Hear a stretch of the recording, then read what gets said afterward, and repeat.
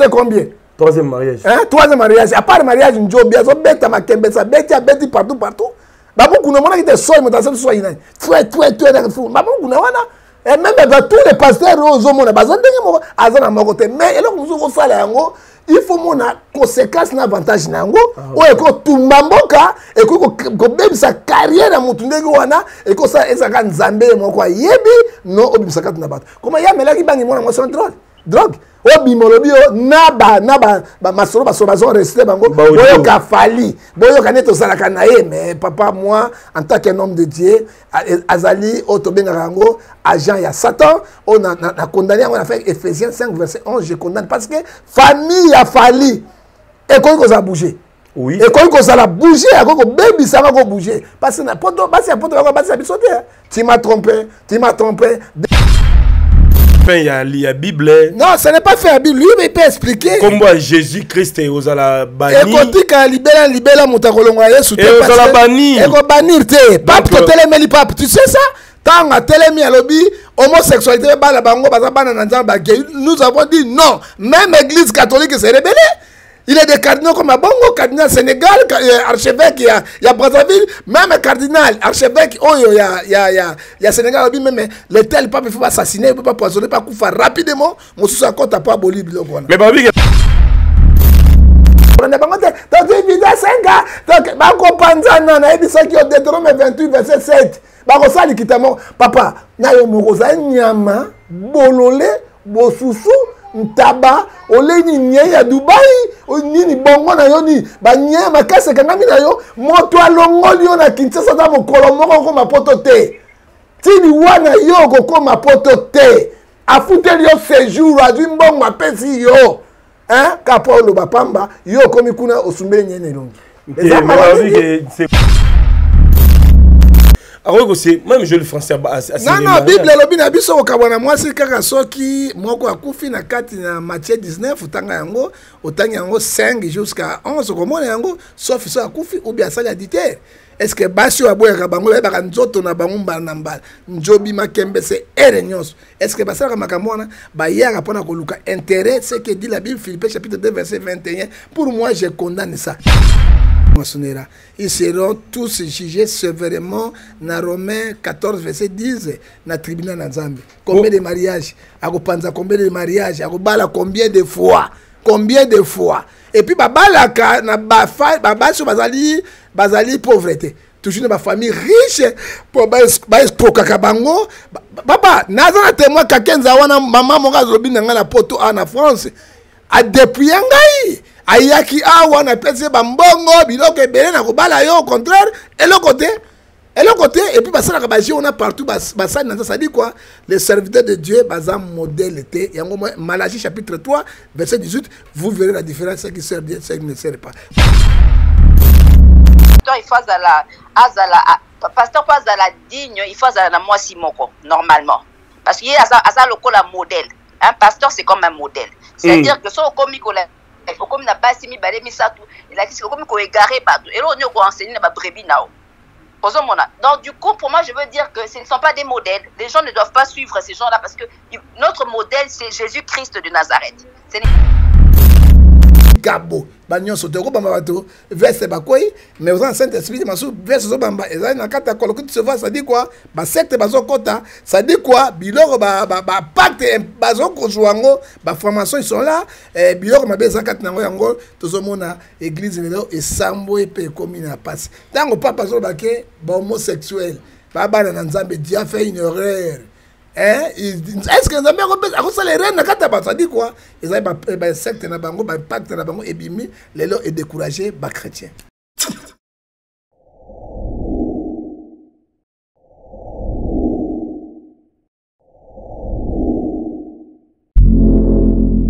Voilà, merci à tous et à toutes, euh, chers amis téléspectateurs. Nous voici très rapidement chez vous. On va essayer de parler sur l'actualité. Vous le savez très bien, la e l'église protestante, je crois que toutes les structures de la place sont au courant de la réélection de Félix de Chilombo pour un deuxième mandat. Je crois que c'est 31 et c'est la date fixée pour la publication des résultats pour les élections présidentielles. Toutefois, rejoins Précision Séni, vu l'écart, plusieurs candidats à constamment Constant Moutamba, à salut point de presse, a avoué que l'écart Ezem Moulaï, plus de 10 millions de voix, Président Fatshi azali réélu, donc je crois que partout bazo publier na ba page bazo publier déjà aza mokonzi oyo congolais a voté. Alors à part ça, toko simba pe likambo tali désordre au sein orchestre Fally Poupa. Il paraît ekomaki ba visa sexuellement transmissible opesi nzoto zwi visa bon ayebi te. tomoni baréalité ebele bato bazoswana babengani meme ndeko na biso grace temo na orchestre à travers les réseaux sociaux bon eza humiliation après koexploite mwana bato bobengani ye ou bien on peut dire quoi l'artiste a mal fait le casting sélection ezalaki ya bato bakendaki na poto asalaki sélection ya mabe ou bien comment todéveloppe yango et puis likambo ya suka ezali troisième mariage ya papa na biso albert kankenza bali pour la troisième fois alors toyebi te bapaster bokomisi biso na suka bokomisi biso na suka eh, me bato bazosouete oyo ezala dernier mariage na ye mpo troisième libala ezali ebele mingi merci beaucoup amimi ndume depuis moshinglaba ya national na niveau ya allemagne mbote mingi na sema mayasi femme légitime agenci mayasi forza italia les célèbres die nzundu na washington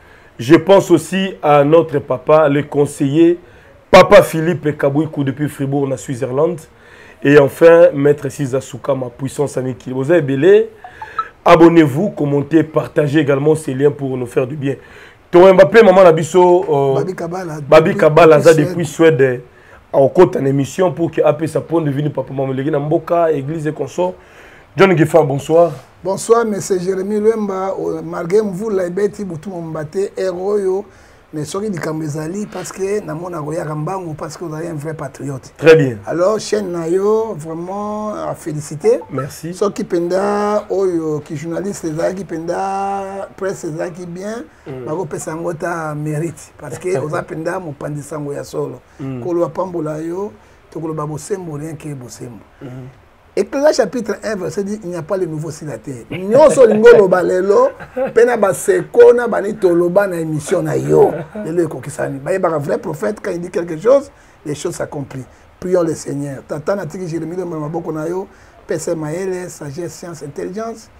mituna na ye biyano na ngai sunga ye sunga mboka pesa kimia moke kopesa kati na yango te na nkombo na yesu masiya tolobi amen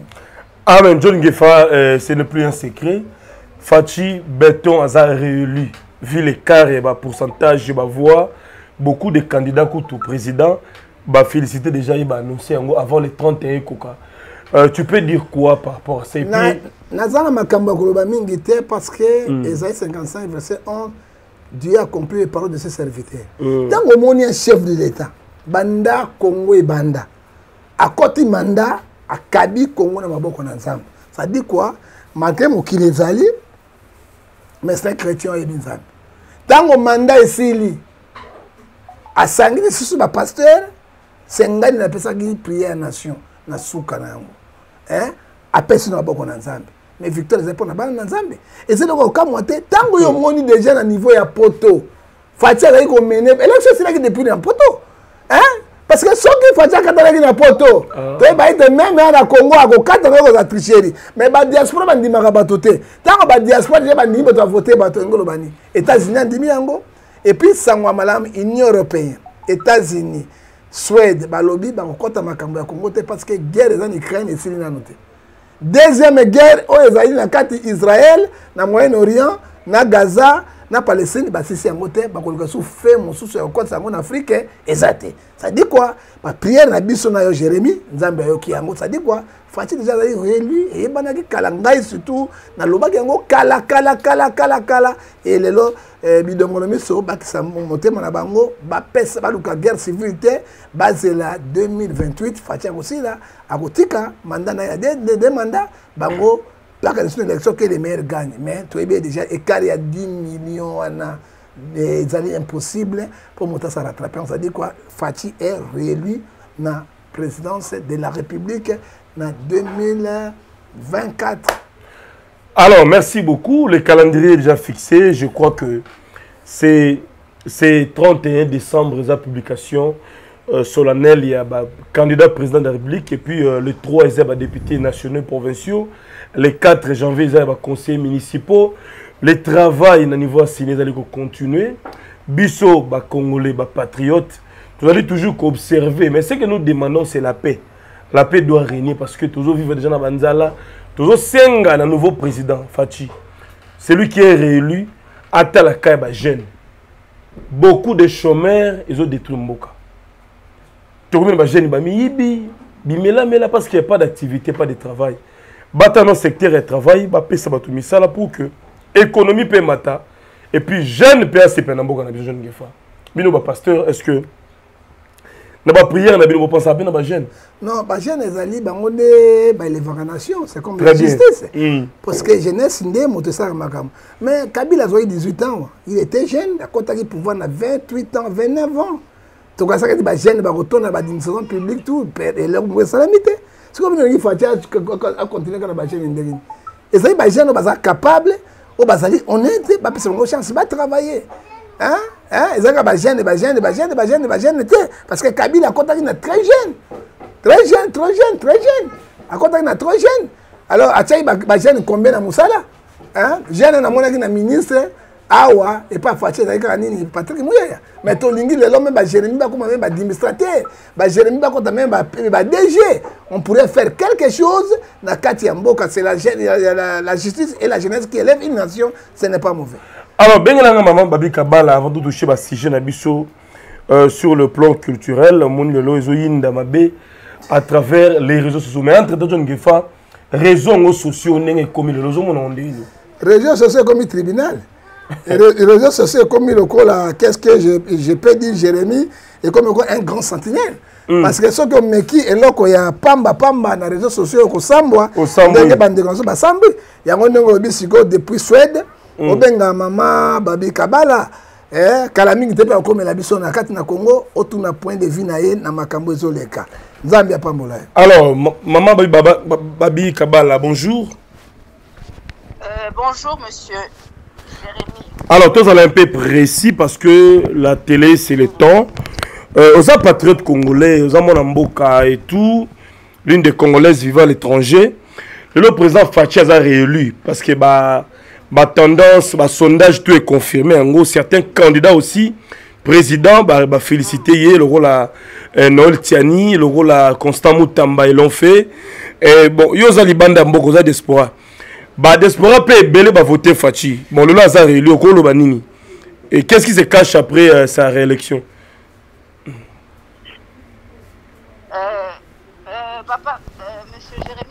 vraiment mode une nuit très prière parce que nous sommes des enfants de bon, Dieu. Bon, priez, hein, priez, priez, toi qui es chaud. Commencez. Hein. Mm.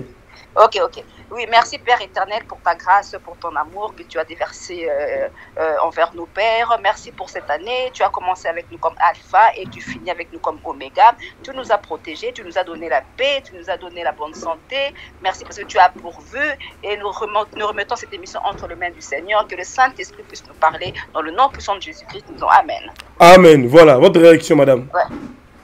Non, ma réaction, je suis vraiment très, très émue. Là, je suis très émue parce que, apparemment, euh, je pense que euh, le, peuple a décidé. Vous comprenez Le peuple a décidé. C'est le peuple qui a le dernier mot, en fait. C'est-à-dire que la décision aussi. C'est Parce que la parole de Dieu déclare que la voix du peuple, c'est la voix de Dieu. Vous comprenez mm. Donc,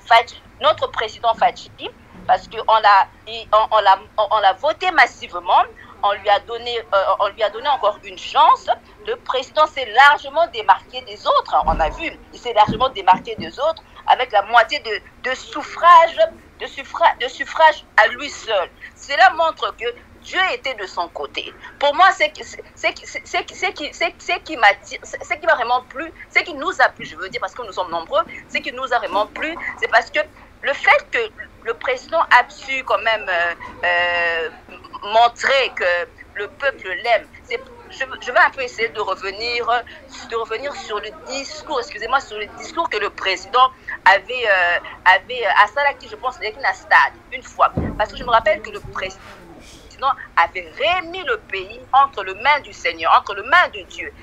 c'est-à-dire Mikitisaki, Kitisaki, nzambe azwa azwa azwa Lokumo. et je pense que c'est par rapport à cela pour bible autres, non mikitisa nzambe o c'est par rapport à cela que Dieu a quand même touché le cœur de tant de personnes. Voilà pourquoi nous avons voté pour le, président Félix. alors merci beaucoup euh, mais président faci mpe na premier mandat nde tomonaki asalaki bavoyage ebele privé tout comme euh, euh, euh, officiel est ce que lisolo bavoyage wana ezalaki mpe critique critique est ce que cette fois ci il faut voyager sur mingi oyo azala plus concerte na mboka Non, mais je pense que cette fois-ci, euh, le président, quand même, a, a eu bonne note, en fait. Vous savez, moi, j'aimerais d'abord dire, premièrement, et ça, oh, il y a entourage, il y a président. Vous savez, deux fois dans la vie, ça veut dire, ça veut dire que chaque, chaque fois que euh, nous faisons vraiment euh, du bon travail, des services qui viennent du cœur, des services sans arrière-pensée ni but lucratif. C'est-à-dire que le ciel va, va, va faire en sorte que Afutabiso, c'est-à-dire que le président, oui, avec une structure mobile, on peut pas le condamner, on peut pas le stigmatiser en fait. Le président avait toute une structure, avec l'administration mobile, oh, Peut-être qu'il y a eu un peu de, de, de, de moi, bah, moi ma bien été mais on peut on, pourra, jamais en vouloir ça au président et puis d'ailleurs je, me souviens le président qu'est-ce qu'il a dit il a dit que non maintenant Azola la politique pour indépendance c'est-à-dire que il va essayer un peu de tamiser de pouvoir un peu restructurer les choses pour Makambo et bien alors ça c'est bien donc euh, john gefa réaction no rapidement hein? faci avoyagaki mingi na 2020 na premier mandat eske tour oyo kozala ndeni bon ndenge mama alobi mm. eh, ata elekaki malamu mpe elekaki mpe mwa mabe parce que mm. faci mpe azali na groupe na ye oyo cabinet oyo elandelaka badepense wana mm. malgré bacongolais na bacongolaise balobaki yango mm. parce que omoni bible ezoyebi biso trop claire Matthieu chapitre 2, verset 8, l'or et l'argent appartiennent à Dieu. Mm. Mais nécessairement, eh, a voyagé à qui pamba pamba te pour la mm. diplomatie, tout le monde a voyagé na yepé, ma campagne misusu et s'est réalisé mouké mouké margué, mbongo wana, et zaki mbongo ya propre ya poche na été, c'est mbongo ya l'état, mais dans la structure oyo ezalaki mpe kolandela kobimisa mbongo wana ndenge mama babi kabala auti koloba alors ça c'est très bien je crois que badépense wana esalaki bamakelele ebele mais tokosenga na mokonzi ya mboka ayokaka peuple ka ndenge asalaka ekozala bien babi kabala s'il faut donner euh, peut-être une idée un conseil na président faci na deuxième mandat eza nini priorité na ye ezala nini jeunesse emploi ezala construction de route ezala makambo etali santé ezala euh, je ne sais pas enseignement priorité ya faci ekozala nini En fait, moi, je voudrais dire que Naolo Baké, priorité vraiment, il y, a, il y a notre président, ezala ke ameka mpe kobongisa structure ya mboka ameka mpe kobongisa sociale ya mboka parce que omoni soki abongisi sociale ya mboka parce que vous savez certainement certes le président a vécu en europe le président quand même a vécu en europe ayebi bastructure ya poto ndenge ezali ayebi ndenge biso awa tofonctionnaka na poto c'est à dire ameka un peu kozwa mayele oyo ye azwa na poto wana ameka mpe kosala yango mpe na congo soki asali bon abongisi asoulage mitema ya peuple wana ayeli bango makambo peuple ezolinga je pense que euh, peuple wana ekolinga ekopesa ekolinga ye donc eloko akosala eza kaka non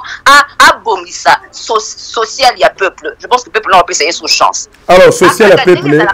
eh, ezali kolia ya bacongolais john ah, gefa kolia ya bacongolais ndeclasse ya bana eh, santeklasse ya bana sante ne mm. mama babi kabala azali koloba mm. nakotuna ye mpe motuna awa parce que biso mpe toza bapandisango mm. na motuna mama babi kabala yo nga nayebi ozali servant de l'internel tu crains dieu tu marche confond à la volonté de dieu qui défend aussi le valeur mm. mais mama babi prof, baprofete babimi awa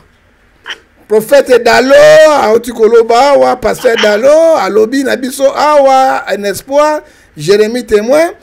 alobi amonaki chaise roulante moko donc lisolo ya prophétie otambolaki mpe na mboka apesa réaction no rapidement vo toleka na basujet mosusu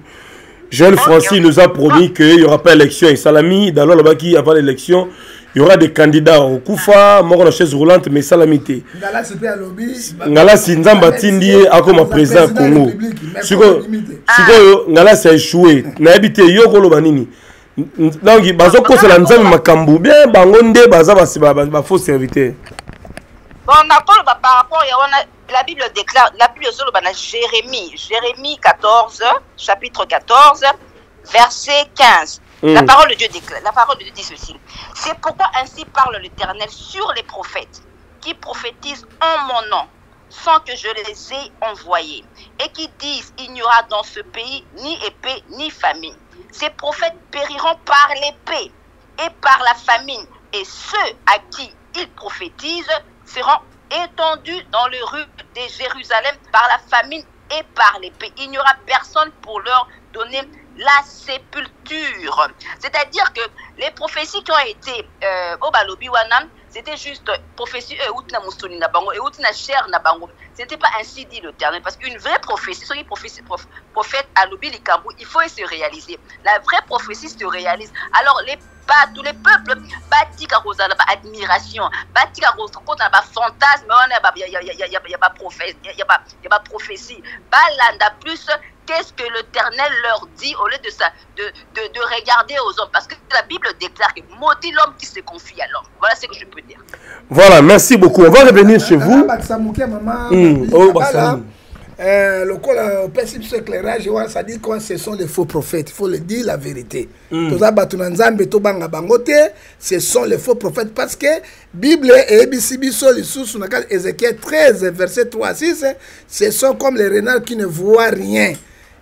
il veut accomplir les paroles s'accomplit mais ezosalema te disons eza bafaux prophète matthieu 24 verset 24 eyebisi biso vérité bazali mpe bafaux prophète lokola 2 pierre chapitre 2 verset 1 4 alobi balanda bango te bazopesa distraction na mboka soki lelo mboka ekomi na niveau toza na yango à cause bafaux prophète mingi bana kata congo alors john gefa to continue rapidement awa lisolo mpe ya troisième mariage ya albert kankens abali su troisième fois okoloba nini nayebi te bino bapaster bokomisi peuple na suka tokoloba non non non ezali baarbert kakenza baosaka na nzambe seke galate 6 7 8 elobi on ne se moque pas avec dieu seke l'homme ra seme il moissonnera ils seront tous jugés sévèrement na romain 14 verset 10 na tribunal na nzambe combien oh. de mariage akopanza combien de mariage akobala combien de fois combien de fois epuis babalaka na babasi bazali bazali pauvre te toujours na bafamille riche mpo baeskrokaka bango papa naza na témoin kakenza wana mama moko azolobi na ngai na poto awa na france adepouye ngai ayaki awa napesi ye bambongo biloko ebele na kobala yo au contraire eloko te eloko te epuis basalaka baje wana partout basali na nza sadi kua le serviteur de dieu baza modele te yango malachi chapitre 3 verset 18 vous verrez la différence ce qui sert bien ce qui ne sert pas oyo oh, tout eya mariage ya bekobisa voilà eza mariage oyo baekobise te mais c'est un papa quand même je pense mais papa un papa tozomona hmm. makambo na bango hmm. ezali koleka lisusu malamu mpenza na, eh, na bonzambe te bazali kotosa nzambe te bongo soki na bia ya motu aponaki mwasi mwasi esimbi te akoki kose meme joli français nana bible elobi na biso kokabwa na mwasi kaka soki moko akufi na kati na matie 19 otanga yango otangi yango 5 jusqu'à 11 okomona yango sofi soki akufi oubia asali aditer est ce que basi oyo aboyaka bango bayebaka nzoto na bango mbala na mbala njobi makembe se ere nyonso est ce que basalaka makambo wana bayaka mpo na koluka intérêt ce que dit la bible philippe chapitre 2 verset 21 pour moi je condamne ça question nalingi otunela mama babi arépondre yango rapidement mpo toleka alors benga bengela mama babi comme ça apesa point de vue na ye entre temps je tiens à remercier euh, le président pedro mutu leader ya jeunesse association main dans la main depuis la ville fontaine Ah, mais aussi de partout bon mama babi mama babi dossier ezali awa euh, bapaster bao balamba lebele papa kakenza baali su pour la troisième fois yo kooloba nini ezali ce sont les femmes nde bazo déranger bapasteur ou bien bango bapasteur nde baintérêt na lokoso nde ezopousse bango base remarie autant de fois yo autant que femme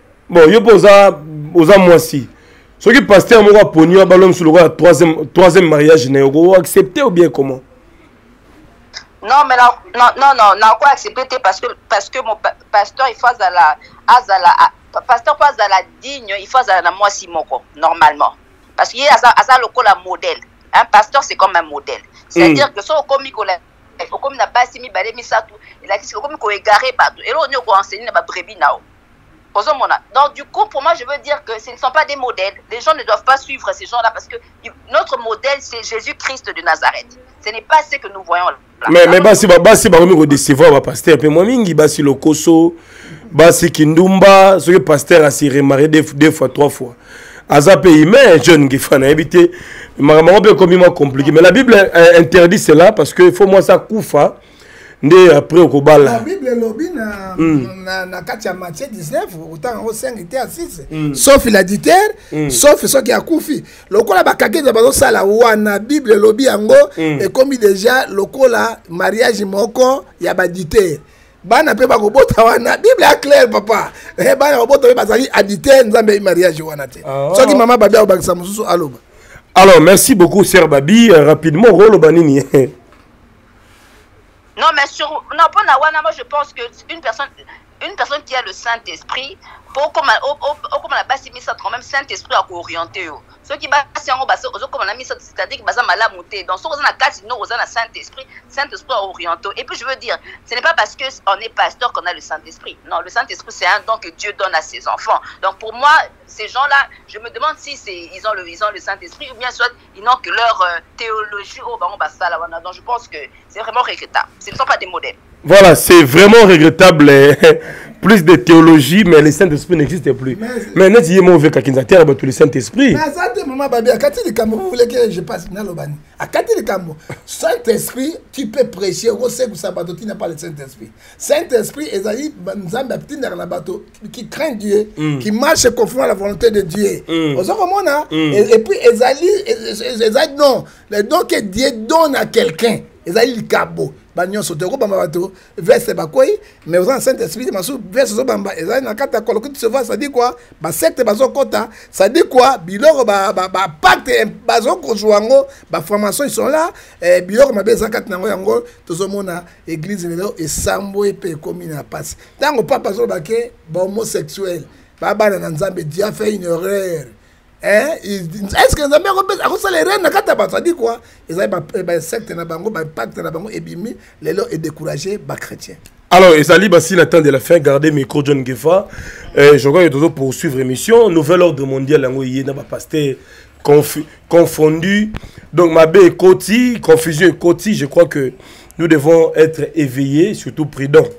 sikoyo nanga tuna motuna moko jeremi mm. parce que bato balandaka biso partout na monde motier mm. parce que moto azalaka spécialiste matière ezali ser babi mm. aexplike no peuple nouvel ordre mondial ezali nini mpe tozokende wapi tozosuka wapi mais balobi ezali fin ya, ya bible non ce n'est pas fin ya bible lui peut expliquer nkombo ya jésus christ ekozala bani ekotika libela libela moto akolongola yesu te ekozala bani ekobanir te pape euh, totelemeli pape tu sais ça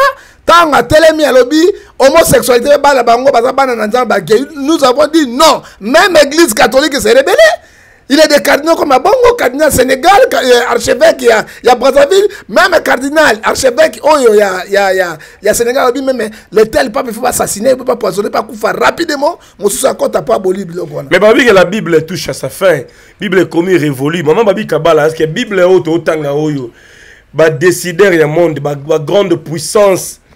bato ya ba loge, ba secte, balobi que non, d'ici 2027, tout sera changé kombo ya jésus ezozala bani yo koloba nini non le problème eza que le problème eza que bato oyo bayebaki non toza na agenda oyo bazobenga euh, le gouvernement mondial de l'onu par l'agenda 2030 c'est à dire que tobenga ce sont des lourds ravisseurs ce sont des agresseurs, ce sont des destructeurs du monde, ce sont des gens qui sont venus, qui veulent emmener le, monde entier dans l'abîme. Je veux vous donner, je, veux, vous donner une révélation. Vous savez que oh, bato loge na bango ont la city of london city of london et ça veut dire city of london ça e, loge y loge ya franc maçon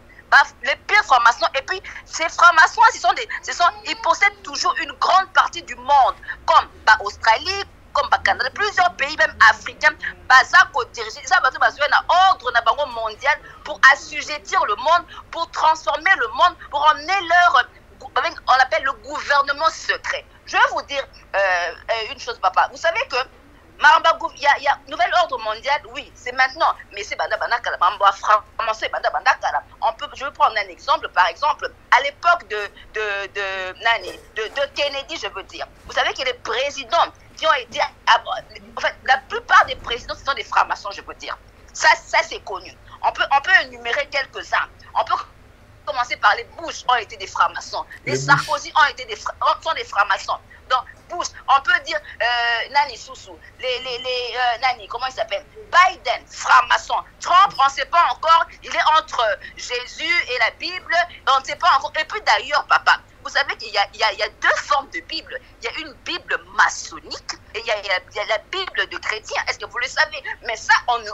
Bible ils ont dans Bazo bazo makambo wana te. Mboka ezo kende dans l'abîme. Ils ont un plan secret. C'est-à-dire que plan wana eza ya bato baza na kati. Shalom peuple de Dieu, que Dieu vous bénisse. C'est moi votre frère Enoch Babinga le chasseur. Bien-aimé dans le Seigneur, naye ko présenter bino orphelinat Matondo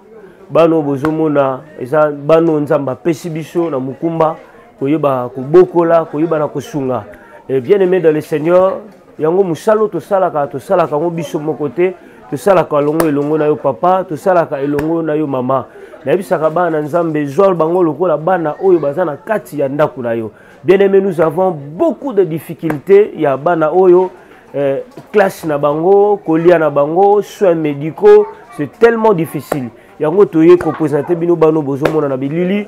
kosenga soutien kouta epai na bino bible ezoloba celui qui donne aux pauvres prête à dieu motu adefisaka nzambe nzambe atikalaka na niongo ya motu te tabita dokas oyo asekwaki c'était à cause ya babienfait mama ozolanda ngai papa ozolanda ngai babienfait esalaka nous sommes précisément sur l'avenue minicongo 78 dans la commune de makala référence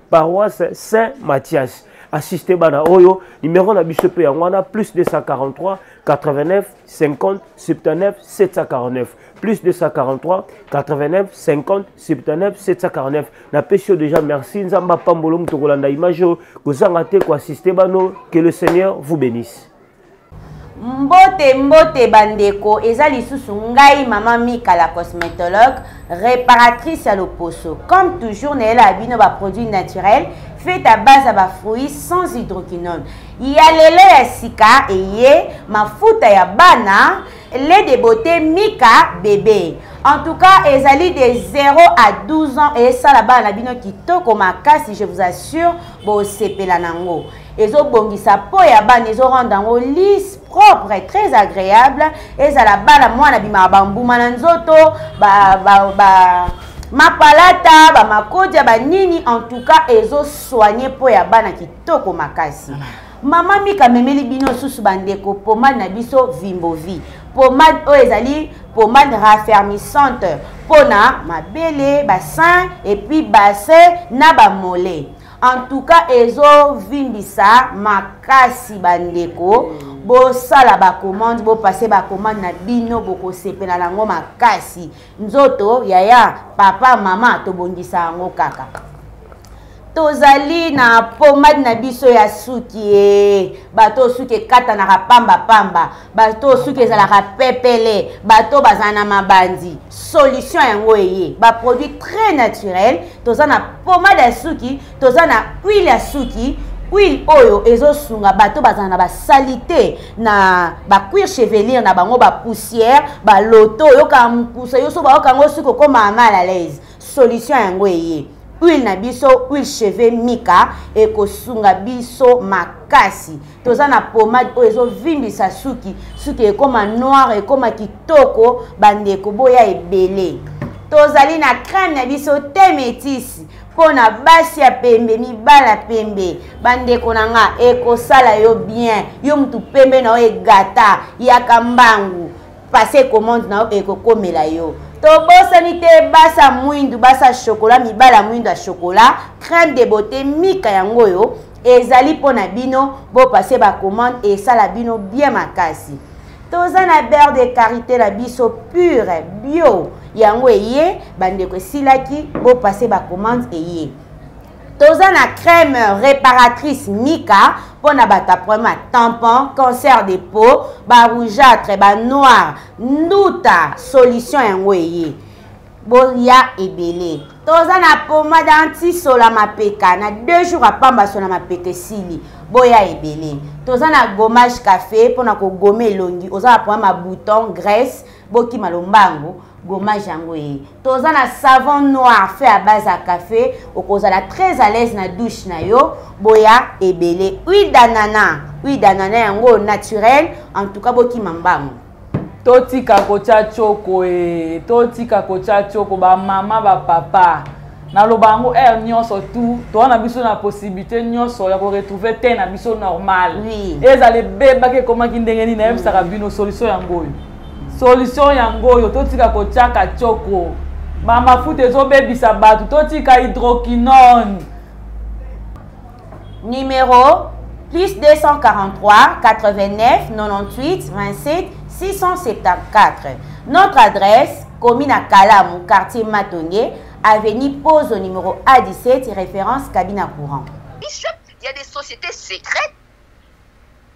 puissance derrière plan c'est-à-dire baza ebele na kati wana oyo bazoluka bamema monde na ce qu'on appelle euh, koreamorce monde réinitialisation ya monde c'est-à-dire great reset c'est ça donc komema makambo ya sika ya sika yango tozomona babiloko lokola par exemple Là, on a vu la dictature du Covid, on a vu la guerre Russie-Ukraine, on voit la guerre Russie-Ukraine, on a vu la guerre tomona guerre oyo ya israelo palestinien palestine palestine palestine pardon c'est à dire que les puissances mondiales veulent que mokili mobimba bazwa na état profond na bango mokili mobimba ezala sous leur emprise donc bato fo bayeba ke to na gouvernement oyo ezali secret oyo edisaka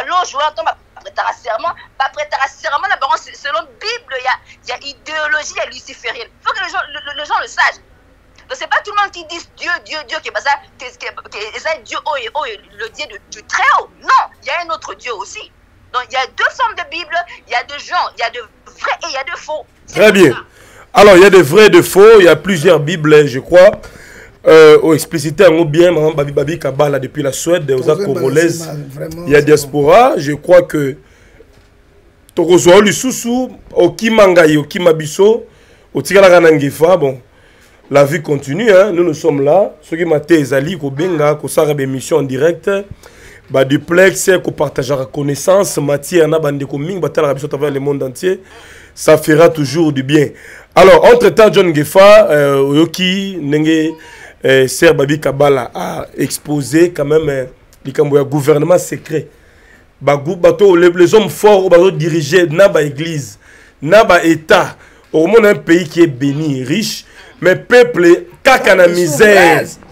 donc tosina konta na satan ok eza bamakambo oyo osama na ndenge ya secret john gefa euh, pour euh, chite la okoloba nini bon merci mama nalingaka mama wana parce que azali très très très très côté ya science azali très euh, qualifié mm. yo oyoki bapense na ye Je, moi, je l'appelle comme un professeur de la théologie, professeur de la science. Parce que,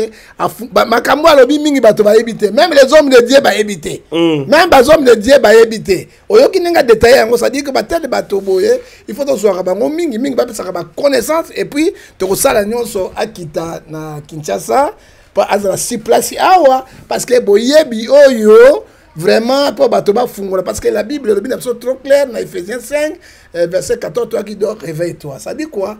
soki ba grand puissance wana atangeli biso pape ye wana te il est puissant puissance mosusu yango wana aujourd'hui apesi décret ke bomosexuel babalana basi na basi babalana mibali na mibali bakobalana mais soki tokamati genèse chapitre 1 verset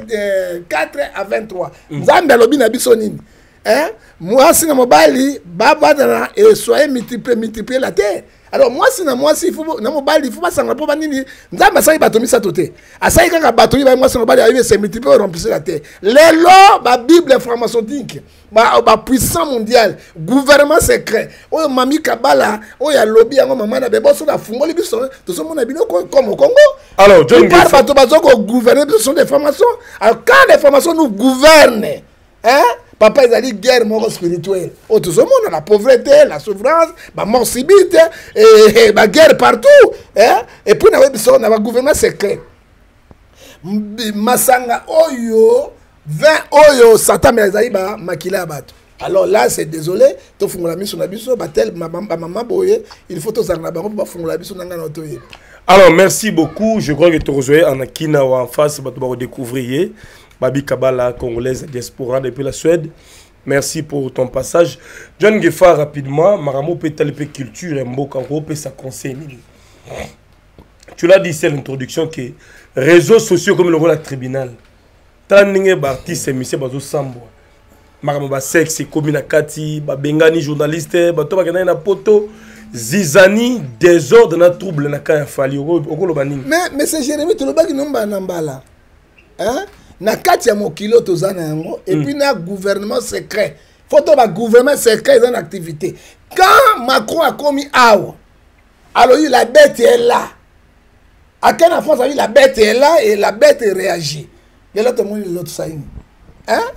nayebisaki yo eloko moko oyo fele ezalaka na se mabele te bapesi yo kaka visa boye séjour na poto bie kaka boye ofele non meme biso tozali kaka na nzambe interet na biso na nzambe nini abatela biso alimbisa biso ke na vie internet eza interet to interet te sika oyo ya nzambe interet mpo na bato nini mpo na gloire na ye sa nini emonana kati ya mokili alors ovandi kaka boye un franc te séjour te bamema na poto kaka ofele boye nayebisaki yo baza bato ya makembese banjobi ba double sim ba double matoka yango omoni ete bakomi komifingana baza na fale na kimia te fale na kimia te kofingana entre bango na bango ti bakotouche meme oyo ekoritike ke libala fale ekufa hein? journaliste ya mwasi abimi na, na kati ya il faut tala bato bazali bairreconnaissant ce que dit la bible eh? oyo oh, bible ezoyebisa biso na matie 10 verset 40 41 oyo apesa ta mai ya mpamba ya malili kumisa nzambe epesa merci aye kodevoile yango ke ngai nazala makango ya fali publiquement publiquement et partout bon na likambo ndenge na jérémi lwemba ozokasa te fali akozala na kimia na famille na ye to bayei jean 10 verset 10 Le volet vient pour dérober, gorger, pour détruire. Et je suis désolé. Alors, tu es désolé, mais bureau a fallu Bengani, journaliste, mon grâce. siko to bani ba exploiter bana bato ba bengani bango non papa makambo to balobaka te ah, il faut secret secret mosusu ezali soki ozwi yango basecret bato bazwaka bapacte na diable babimisaka yango te alors ya basecret mosusu soki obimisi opanzi bato basecret mosusu omoni boye nakotuna masusu moninga na bali mobali mobali naza bien bokendeke bino nde bokendeke kati na ye mobali na ye sikoyo yo osepeli na beti yo mosinzo estce seko wana akoyebisa masa na ye akoyebisa bato akobomba akobomba eh, soki nzambe moko alakisi yango te akobomba mm. donc ntango abombi yango mese jérémi lwemba mm. asauve eh, entourage ya bosi wana asauve famille na ye mpe asauve sango na ye jérémi bible a claire proverbe chapitre 7 verset 1 la bonne réputation c'est comme un parfait de bonne odeur hein? na poto un président un ministre asali makambo ndenge il doit démissionner sa fonction akodémissionne peuple ekoyoka ye te alors biloko ndenge wana non non toza na monde ya miziki monde ya miziki soki lelo eh, bajournaliste bamowelela bamusicien bongo na babiro ozomona ngo ndeni eza monde moko satanique kuna eloko moko ya bien ezalaka te ezalaka njobi basacrifice mpe makembesi hein? bango na bango omona oyo azwi oyo azwi potopoto esili na potopoto wana comme nous prions nzambe akotika potopoto na bosoto wana ezala kati na bato te parce que quand tu vois fali un homme sérieux hein, il ne parle pas asala makambo na ye mais tala entourage na ye lelo tala entourage na ye esambusi ye eh? balobaka aza l'artiste elemi entouré non non azala bien entouré ndenge ni mwana mwasi wana ata bozalaki na fali ata bovandaki na ye makango hein papa mobali moko na vie oyo toza na yango azala na mwasi moko te c'est vrai même le pasteur mamoni kakenza te combien troisième mariage hein troisième mariage à part mariage njobi azobeta makembesa beti abeti partout partout babokuna omonaki te soi moto asali soi nani tue tue tue na fu babokuna wana et même ba tous les pasteurs oyo ozomona baza ndenge moko aza na moko te mais eloko mosusu kosala yango il faut mona conséquence na avantage na yango ah, oyo ekotumba mboka ekoki kobebisa carrière ya motu ndenge wana ekosala ezalaka nzambe ye moko ayebi no obimisa kati na bato koma ye amelaki bangi mwana mwasi wana drole drogue obima olobi yo na ba na ba ba masolo baso bazo reste bango boyoka fali boyoka nde tozalaka na ye mais papa moi en tant qu'un homme de dieu azali oyo tobengaka yango agent ya satan oyo na condamne yango na fai ephésiens 5 verset 11 je condamne parce que famille ya fali ekoki kozala bouge oui. ekoki kozala bouge akoki kobebisa yango kobouge parce na poto basi ya poto bako basi ya biso te tu m'a trompé tu m'a trompé désolé abomi libala tala français eh, mais président hollande euh, oyo ata moko amabata na ex président français na sarkozy tala yaki mwasi na ye baza na ye mais akuti sarkozy kana mwa mbeba moke alobi non je, je suis désolé aboyi sarkozy mpo akobala un artiste américain hein sarkozy asisaki manda na ye mobimba sa mwasi na ndako sadi kua ekomi likambo oyo okipitana oyo bamongo baloba likambo okita grave donc ekomi nde potopoto mopotu poloso ekoti na kati ya vie ya bamusicien ezalaka vie moko malamu te kolanda bango te toki visa senga bakopanzana nayebi soki yo deuterome 28 verset 7 bakosala likita moko papa na yo moko ozali nyama bolole bosusu ntaba oleni nyei ya dubai nini bongo na yo nini banyei ya makasi ekangami na yo moto alongoli yo na kinshasa ata mokolo moko okoma poto te ti liwa na yo okokoma poto te afuteli yo sejour azwi mbongo apesi yo hein ka po oloba pamba yo okomi kuna osumbeli nyene elongi c'est kofi qui est derrière tout ça kofi botia kofi te ntango mwana mwasi alobaki kofi amemaki na poto te boti kokosa kofi na kofi ana makambo na ye hmm. azobundana na mikumba na ye botika kofi aa na kati te ezali nde asalaki shua ya mabe eh, abomi wana ti bake wana eh. hein koteka makembese pamba pamba joba makembese joba pamba pambabaza bajournaliste te basala jeremi yo oyebi yango pourkoi oza hypocrite moi je ne fais pas des hypocrites hein? yo oyebi yango bien ezotunaka baquestion toi tu connais koma ndenge batambolaka nde basalaka awa nakopesa exemple ngai ngefa combien de journaliste boyaka na ngo awa deja baluka bakwesanga na ndako wa na ndako libanda ba soko moni ba belle ba ndenge yonso combien de fois ah tu ko funda ba journaliste na fundi te je te dis la vérité monsieur yo yo ko yamba ba journaliste biso na ba journaliste ba to vieux yo biki ba mosu ba ko maka tina ndako na ngao remi ayebi yango awa metisa akoteli ngai te awa omoni miso nyonso kwa mondele omoni zolo mosongo basangaka kili komini pembe mozungu te na ndako na ngaotate ngai mwasi nazala ngai bino ngai na problème mwasi akei mosala na ye rr na biaka zero e yo kotika ngai na nzela pourkui okotanga na nakotisa yo mpo obimisa ngai motakala mpo oyoka tosoli na yo obimi ale na kati hotel ale obimisi ngai motakala alors il faut te pridone la vie obanga bafi ya tv te papa pardon nakomeka te komeka te nakomeka te komeka te papa oh, mais ozalaka na bango déjà nazalaka na bango tatation tazala ozobima baotyanga misapi bino oyebaka yango natuni yo motuna mpo awa ovia kotika ngao natika pembeni bo yo ndenge nobima te tobeta mwa boro ati na kuzu kuzu nasimbani kuzu obenganga mpo nani mpo osambusa ngai role na ye mission na ye azali baelema ya satan po gentis dise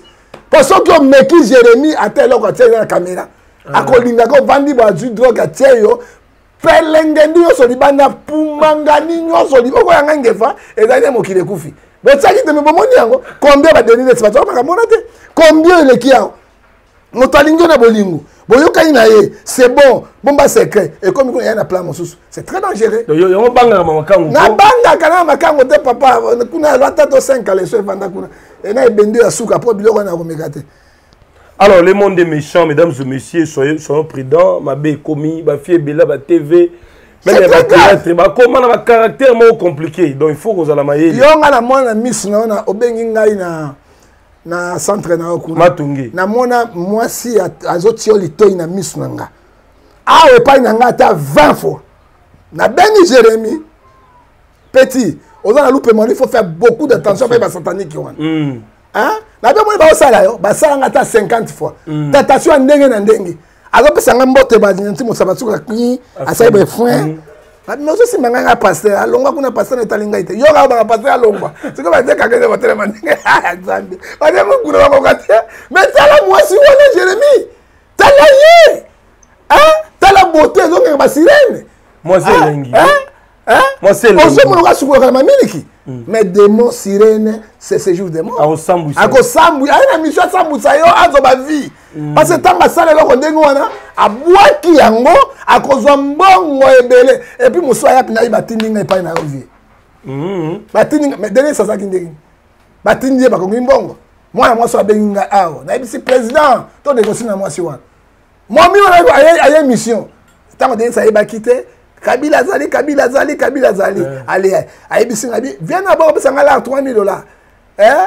Eh? ale kpu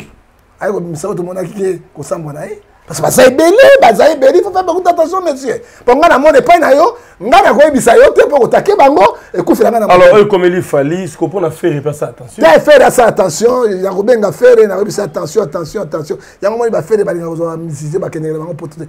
kosi nango eh, yango omoni bikumbakumba omoni mpe fo fale azwa conséquence wana conséquence azwi parce que bikumbakumba ya linga mona ko asali boye oyebi galate 6 verset 3 si quelqu'un pense être quelqu'un il s'abuse lui-même eloko oyo papa internet ezali na vitesse lokola eh, kwa fise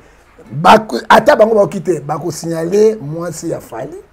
bana na ye bakosignale baproche na ye est ce que famille kozala kimia kimia eza te avec nandi ata babengani ye ndenge babengani ye nde bofungoli guerre il fallait biro ya fali ebengana mwana mwasi wana te bagere ye azomoni bazangi sagesse papa yango omonisa ya babi tika te nzambe apambola mwana mwasi oyo atonda na mayele mama na bebosono mayele alobi moto nyonso eko na saint esprit te hmm. soki bazangi na saint esprit bakosala nini saint esprit apesaka badirective il enseigne il introduit bakobenga ye bagere ye bakozongisa ye lisusu na kati ya internet ademanti likambo wana mpo na nini valeur ya tiste eza nini ekola alors basiase ye bafungoli guerre ouvert oyo ya 40 45 mwana mwasi ape akomitika te akobimisa mamosu ya ebele ya minene boyebi te kasi alobi soki bameki akobimisa akozala mpe na bavideo mosusu ya motakalisation je te dis la vérité monsieur basi babotaka biso aleki biso na mayele Ah, donc l'artiste fallait en ah, danger. Ah, il est en danger maintenant. Tant asali biloko wana kokitisa nini valeur afali yango wana biro egeraki mabe biro egere mabe bakoki kobengana ete bo mwana mwasi ake na bamassage pourkoi alakisaki bato conversation boyoka ce sont les épreuves ce sont les épreuves so ake na justice abi fali ma violé ah, vous avez les preuves allez entend écoutez alors soki mundele azwi biloko ndenge wana 5 ans de prison ferme et c'est fini pour lui po ferre akota mpe boloko hein? papa yemba akota boloko no nyoka longa akota boloko no eh, mundele ezoka justice congolaise ah, bongo soki okoyede bato ekomi baproblème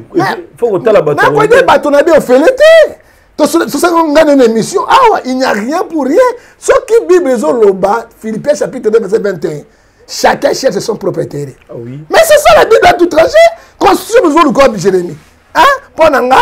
un grand artiste okola fali on doit le protéger hein toko koprotéger fere on va le protéger aussi mais ntango bato oyo bakoti pembeni na bango batie batioko Hein? babeti bakashe na nzoto surtout somoni bana basi bakashe ebele ebele ce sont oyo tolobaki yango na levitique 19 verset 28 ce sont bakashe ba wana eza nde basymbole ya sataniki oyo ayaka batelisaka mpo bakobebisa bango kobebisa réputation na bango et c'est malheureux omonaki manike na groupe mosusu kofingana or kaka efali moto amemaki bango koma bato bana saint esprit bakofingana ndenge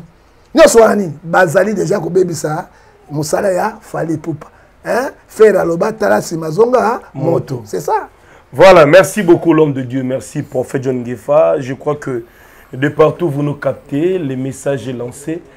topesi solo pour que bande ko bazala un peu euh, euh, connecté je crois que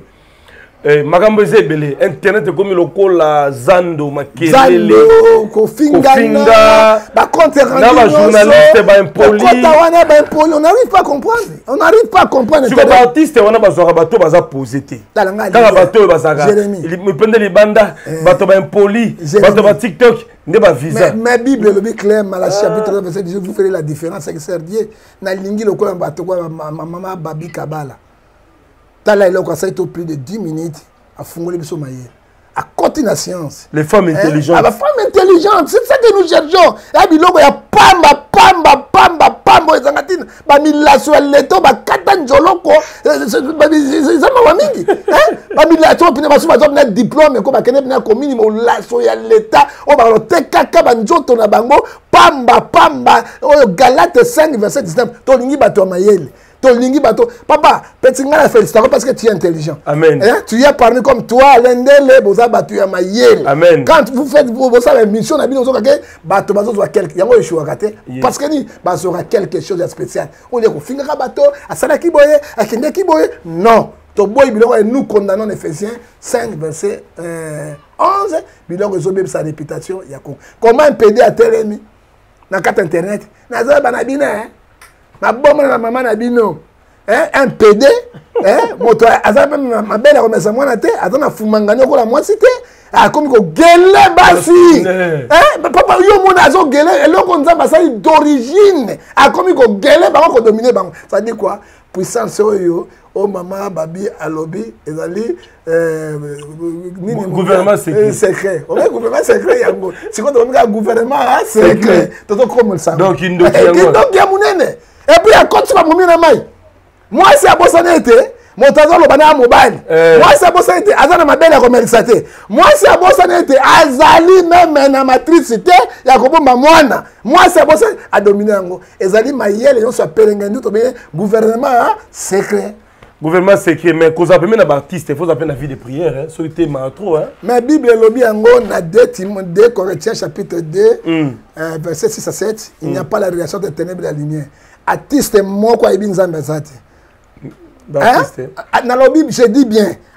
même atali komo ya nzambe mais ke dit la bible matthieu 24 verset 5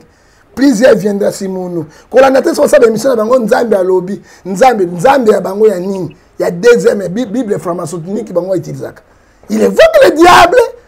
hein? et puis bible kati yango il n'y a pas la relation de ténèbre et la lumière c'est trop clair et amos 3 c'est abi nini hein? alobi yango bien amos 3 3 alobi nini deux hommes ne marchent te ensemble être convaincu fo basala nini bakabwana linga olia mbongo oyo ya pasi ya mitoki nao na propre na nzambe ke olia mbongo ya baformation mpo olobi liwa okeno faire alors merci mpona mateya prophète ngefa je crois que bachrétien ebele batali biso merci ya babi kabala depuis euh, la suède Une femme pas comme les autres, une femme intelligente. Très intelligente. Une femme influente na diaspora ya mboka na biso. Nazo zele na Kinshasa to sala émission spéciale. Tala bato président Tshisekedi ko bango na bureau na bango. Elle peut apporter quelque chose. Na ninga na bureau ya présidence ba, ba primature wana ba kokale. tala basi bazotala basi bakopesafotosala effort congolais fo azongela kotanga classe erasusu na valeur te eh. bato bakuba bizengi bilobaloba balingi ka makembese to akomi eh, ape ah, papa alobi sikoyo mwasi akobala na mobali na mobali sikoyo tofavorize bango batanga classe koyo amami kabala batangaka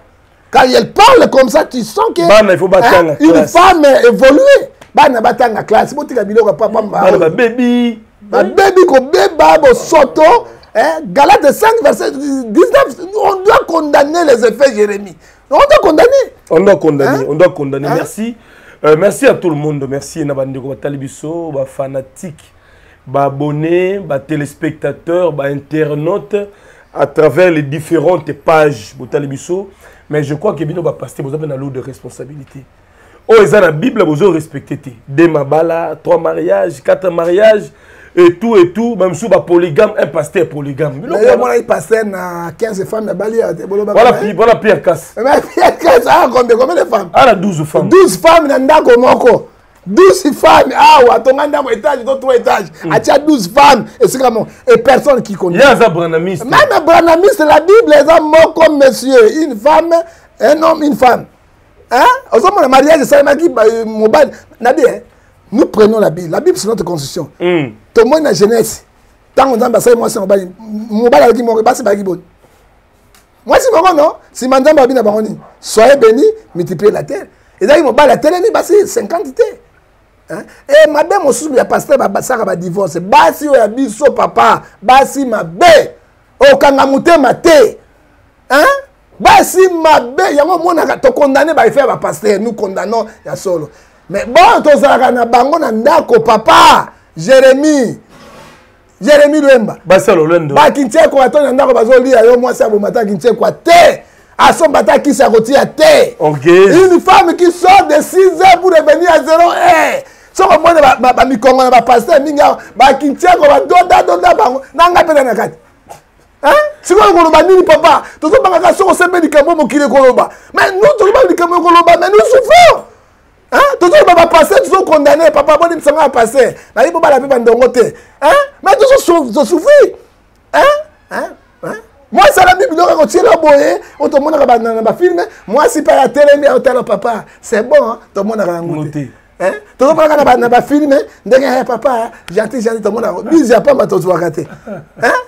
bizo ya pamba mpena chéri kombo ya chéri ezalaka kutu te okoyoka yango ta mokolo moko te ah, mais ntango ozwa affection ezalaka te soki okepa baninga okoba chéri bebe bebe du o oh, nga mpe nazalaka bebe eh, sikoyo otuna paster asala nini sikoyo natuni yo motuna jérémi paster sikoyo akosala ndenge eh, nini ah nous condamnons oui c'est bon Eh, tozokondana yango monsieur jérémi ezali malamu jérémi mm. oyo bapaster bamonaka na ndako mm. mpo akoma kobala deux femmes trois femmes nous condamnons bible eboyi yango mais c'est du souffrance tala mikongo ya bapaster ndenge bitseko baliyaka bango tala bango ti mama aokipe ah, yo te papa ozobunda na yango te ntongo sa ozwi mai ya moto otie mokongo tu ebebi papa okolata sengle ndenge très bien sikoyo okoloba ndenge ntango oyo okesi ba motu oyebi kobeta bouton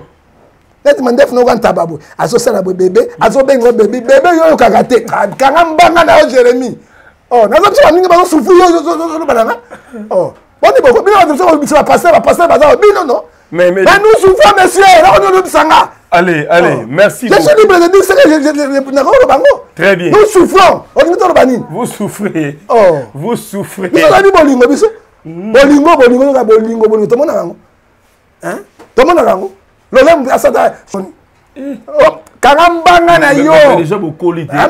papa libalaka na bokola te mindele ozomona vanda mwa mais papa david na age ya 98 ans basi tu bakei bapesi ye mwa mwana ya moke mabele etelema boye eh. roi na ye ezalaki nini abikpa bible elobaka ngai abikpa kaka amamaka davidi bona moustiquaire amamaka davidi mpo davidi akaka moto na ye mais la bible dit david akomi déjà impuissant il n'a jamais connu cette femme ah. etango azomonaka mwa mwana wana azomama ye boye azofanda na ye david sentait bien jusqu'à sa mort esa biso tobenda biso yango tika biloko papa mabénéficie na biloko tobenetisa yango te tobenetisa yango te kaka eza sa mosala na ye oh.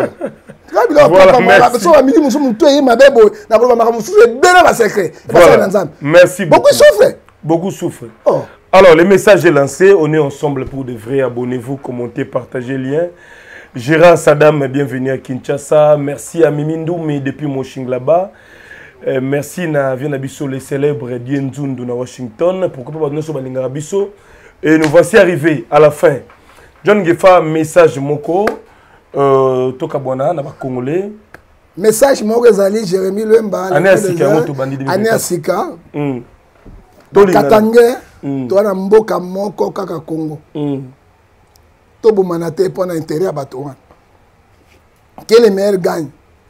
félix tshisekedi na bakana 68 pour cent mm. lelo babi nini 78 non akozwa 68 pour cent 75 hmm? on dirait. Euh, 75 nakozwa 68% nayebisaki yo akoganye boye mm. les gens ne croyaient pas hein? toluka peine hébreu 12 verset 14 totala mboka na biso eh? mm. nzambe asunga tomibomana na te mpo na pouvoir na bango to se focaliser biso tout na trois deuxième mandat na ye totala est guerre ya est mpo ce sont nos frères oyo bazokufa tosengi mpe biso na bacongolais baser oyo ya mayele lokola bamami kabala mama na ebosono baya tosangana olie tofinganaka olie toluka makambo ya bozoba topesa un plus na ba congolaise na ba congolais et puis tosala ntango mama okoma awa tosala ba conférence de presse ba conférence minene ameka mpe parce que papa nzambe asalaka ayebi kosala ndenge asalaka makambo na ye mm. eh, nzambe ayebi kosala makambo na asalaka amenga na koteya biso na bifingafinga eh, soki tokochange tala liloba yo nazobika liloba mpe le félix circulaire passe eh, azoleka Eh, je crois asa aleki na ye déjà eh, match esili parce que ngai na défendaka pamba te so na défendre moto moto akoleka que dieu le bénisse le congo abenir nyonso bazocontribue bifingafinga mm. elongwa mabe tala kaka bonamoni manike yo mosusu nani wana eh, joel kofingana ya songosongo epuis moninga mwasi bozoloba ngo quelle éducation azofinga moninga fumangani eza te nyonso lokola lokola libata yo moninga mwasi ofinga moninga boye mpo na nini tala éducation ya bakonikese oyo to konifwati to nini soki obala yango bayaka koluka libala mpa bamilisien to ndeni me mise bapapola bango basila na mai na makila basilasila sikoyo libala nde bakoluka oyo baibale ya zaire ebale aza ebandi wapi na lumbasi kisangani kisangani na mbandaka mbandaka abwaki yango na kisasa kisasa na bandundu na, na o, bakongo bakongo na mwanda mwanda na oseya o oh, bakoluka nini basasasasa bango wana na mai na makili esila bana basi eh basasa sasa bango siko bayaka ba leader kuluka mabala ba ba mabala te bapesa bango babengaka bango ni ba venin ya serpent Mhm. et quand bakufi ya ndenge soki okushe na ye jeremi vino ebebi eh. mais vino ebandi kobeba kaka wana aza limage ya satan ana vene ya serpent ebandi oyokaka bamisio nalobi ye ah, eh. pour le moment euh, bawazaorenyenani okangi bale mosusu baza nango non mm. mpo bakoti na makambo ebele te soki bakoti esili okomona be bafabrikasi barenyawa balider bango ifi basilisa bango bakosala bango nini na nzela ya ekobo ya makembe il faut il doit faire beaucoup beaucoup d'attention beaucoup beaucoup d'attention hein nalobi eh bajipe mpe na wera boyokaka bango lisusu ah, oyebi ta na bango me basili na nini soko nani bamission kaka aviolaki ngai bakanga bango na makasi me nasepa na sandali na bi oh, toko viole mpe vieti oh, baoka baviolaka biso mpe biso violaka bango te aza epai na dodi alo ba verité eh, lider alali yo moko obeta lider na 3 di mate kokoko nani wana ngai songolo kote oko viole te viole baye baka mibali parce que aye na mission eh, abeti prière na ye adomine soki omeki kosimbeka na nzoto parti ya libele esili parti ya nzoto obebi na